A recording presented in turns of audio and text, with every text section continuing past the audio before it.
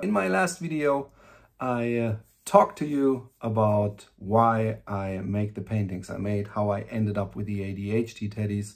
You've seen in the recent month, I painted a lot of teddies, ADHD teddies. That is because teddies are always painted. But recently they look different. If you look at the old teddies and the new teddies, you might spot some differences. But nevertheless, all the paintings are pretty much made in the same steps, even though in my new paintings, um, it takes a little more time and it also takes some more detail work. But I always work and I always worked from dark to light. Back when I was uh, doing graffiti, spray painting, I did a lot of characters. That means like uh, figures instead of uh, letters. And um, I met Bomber from Frankfurt, who's an old school legend, and he was working from dark to light. And uh, I recognized it makes the stuff a lot more plastic and the lighting, uh, in my opinion, is way nicer. So this is pretty much what I do with my paintings. Of course, I start with the background and the background is always um, some fading that uh, might look like two colors, three, but mostly it's five or even more. And it takes some time. Then, of course, it's drying time. So I have to wait till it's dry.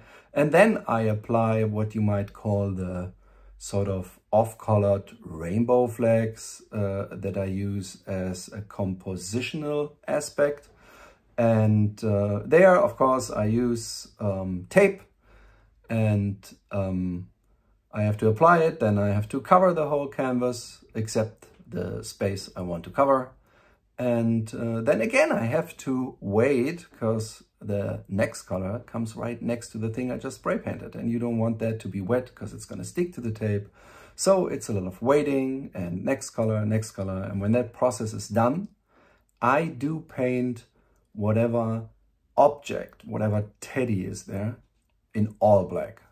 So um, when that is done, again, I have to wait till the color is dry. And then oil bars come into play.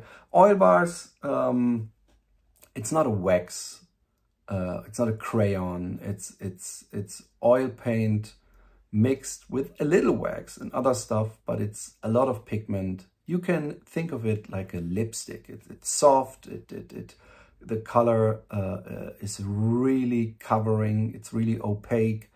And, and then I start with the colors. And um, of course, as I have to leave the black from the background as an outline color, I have to look out because every line sort of has to be right because whenever I cross one of the outlines which are under it, it's done. I, I, I pretty much can throw it away because I won't get the oil bar pigment out of the black lines or spots that I crossed by accident.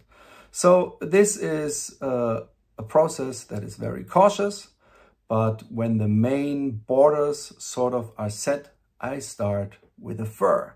And the fur is, um, on one hand, a very tiring process because I'm doing a lot of lines, but um, it's also sort of meditative as I'm uh, uh, in the zone and, and slowly progressing within the head or whatever I'm covering with the fur.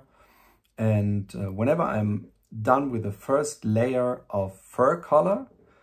Uh, also here, I go from dark to light. The next layer comes, which is always a lighter tone of the same color.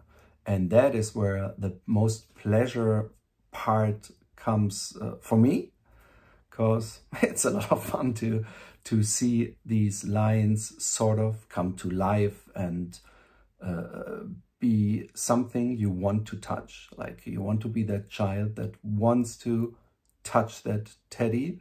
And um, the eyes, I also, I love the process of the eyes because they, the color darkens upwards. So I sort of smear it just upwards and the pigment uh, gets uh, thinner and thinner and uh, I love the effect. And then also I add another color and doing the highlights is very close to taking the second color in the in the fur. It, it, is very pleasuring to see the eyeballs come to life. When I have done that, I'm uh, almost done. The only thing is I add some color dripping and that I simply do. I don't have that on tape. I, I just spray paint in the cap of the spray can uh, till there's enough paint and then I just pour it on the canvas.